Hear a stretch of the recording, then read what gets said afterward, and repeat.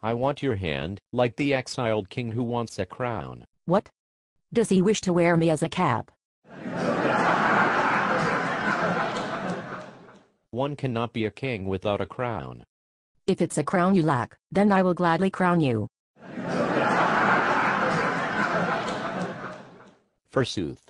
You remind me, madam, of your brother, you say one thing, but then you mean another. If you call me my brother, you call me a scoundrel, and I shall slap you on the nether cheeks. Oh happy slap. Is he slap happy? From you, a slap across the nether cheeks would be the sweetest kiss. And from you, the sweetest kiss would be a slap. Oh unhappy day.